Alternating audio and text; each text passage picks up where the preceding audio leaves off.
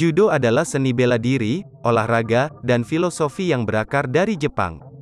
Judo dikembangkan dari seni bela diri kuno Jepang yang disebut Jujutsu. Jujutsu yang merupakan seni bertahan dan menyerang menggunakan tangan kosong maupun senjata pendek, dikembangkan menjadi judo oleh Kano Jigoro pada tahun 1882. Olahraga ini menjadi model dari seni bela diri Jepang, Gendai Budo, dikembangkan dari sekolah tua. Pemain judo disebut judoka atau pejudo.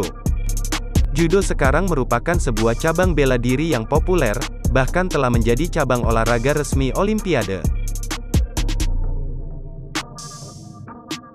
Jigoro Kano menambahkan gayanya sendiri pada banyak cabang jujutsu yang ia pelajari pada masa itu, termasuk Tenjin Shio dan Kito.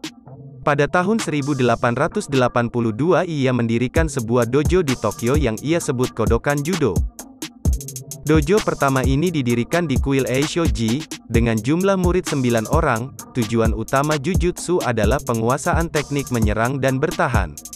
Kano mengadaptasi tujuan ini, tetapi lebih mengutamakan sistem pengajaran dan pembelajaran. Ia mengembangkan tiga target spesifik untuk judo, latihan fisik, pengembangan mental, roh, dan kompetisi di pertandingan-pertandingan.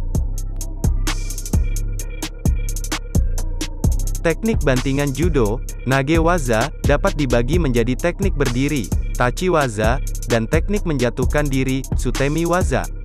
Teknik berdiri dibagi lagi menjadi teknik tangan, tewaza, teknik pangkal paha, koshi waza, dan teknik kaki, ashi waza.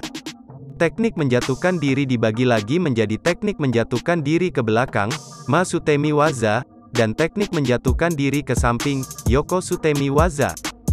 Teknik kuncian judo, katame waza, dapat dibagi menjadi teknik menahan, osae waza atau osae komi waza, teknik jepit, shime waza, dan teknik sambungan, kansetsu waza.